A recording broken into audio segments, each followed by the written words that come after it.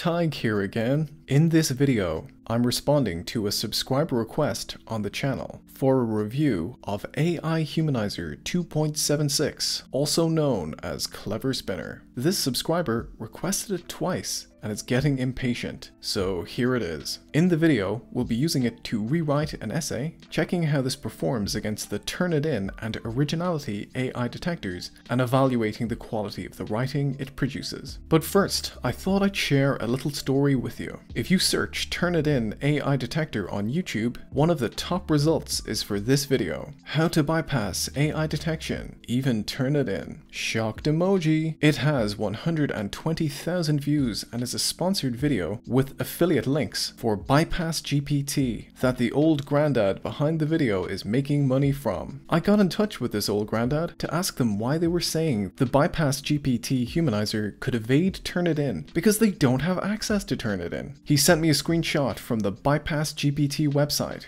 that showed they could bypass Turnitin. He even included a big red arrow in case I was too stupid to spot the Turnitin logo. I replied with the link to my review of Bypass GPT, which showed that not only could it not bypass Turnitin, it was essentially a scam targeted directly at desperate students. He called me a disgruntled educator and YouTuber and told me to take it up with Bypass AI and grow up. Dang. He's being paid by Bypass GPT to promote this useless humanizer, and he's not even getting their name right. I was only bringing it to his attention because it's a top search result with a misleading title that might result in students wasting their time and money. It's just unethical in my opinion. Anyway, the title of the video hasn't been changed, so students out there, watch out for misinformation and scams like this channel that aren't able or qualified to comment on anything related to AI in higher education. And that's the reason I started this channel. I am qualified to say what tools are useful to students. I am qualified to say which are high quality and which are a waste of money. I never have and never will have affiliate links under my videos. I will never do paid promotions. You can trust this channel for advice and to answer any questions you have. I want to support all students and educators out there navigating this confusing AI landscape and provide factual, transparent, authoritative, and unbiased information. If you want to support me, all you have to do is like the video to help me with the YouTube algorithm. Share this or any other video on the channel with someone who you think it could help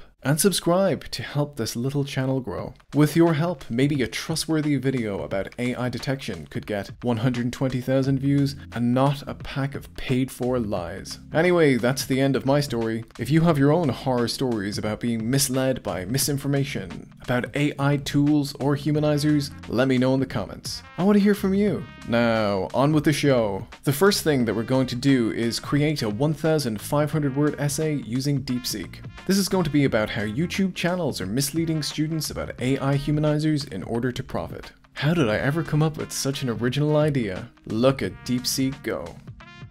Clever Spinner are very generous by giving us an unlimited 3-day trial, though we have to enter payment information for the trial to begin. We paste the DeepSeek essay into the Clever Spinner humanizer, and we're going to use the default settings the first time round. This will make sure that the output is more fluent or readable. We'll paste the humanized essay into this document here.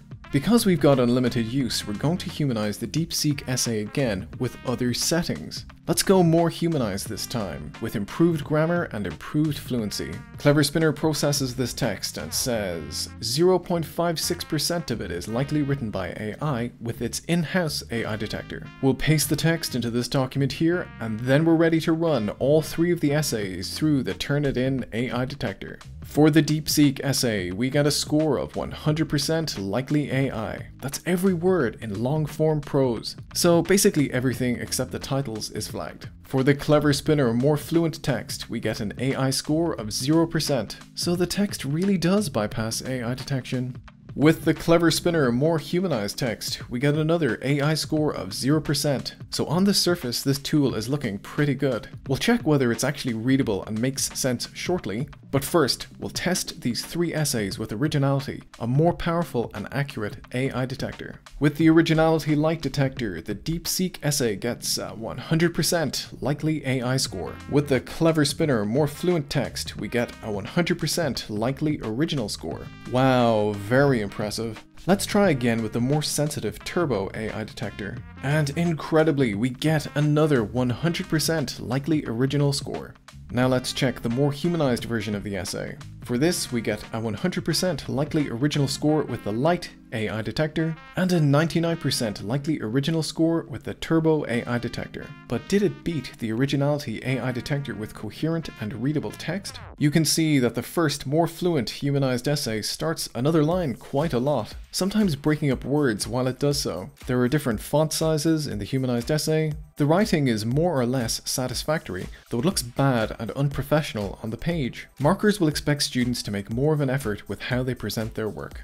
Let's take away as much of this weird formatting as possible and try it with originality. And yes, it gets a 100% original score with the turbo detector, so it passes that test. The same issues exist with the more humanized text, and there's some odd phrasing. The ethics of taking students for a ride. This is the ethical implications of misleading students in the original DeepSeek version. Let's try and fix up the text a little and get rid of as much of the horrible spacing as possible and try it with originality again. And yes, the result is similar, a 99% original score. In conclusion, Clever Spinner is an excellent humanizer. It's retained the meaning of the original text quite well, and the writing is mostly clear and good. You'll have to remove the awful formatting issues it includes, but it can beat AI detectors even after you add corrections. For educators, if you see a submission with horrible formatting, inconsistent spacing, and line breaks between words, this humanizer may have been used. For students who are looking to polish their work or remove traces of AI use, this tool costs only $9.90 a month, though you'll have to overlook the ugly looking website, which even has some typos. However, as a word of warning to students who might think that they can use this tool to submit an AI generated assignment, the Turnitin AI score is only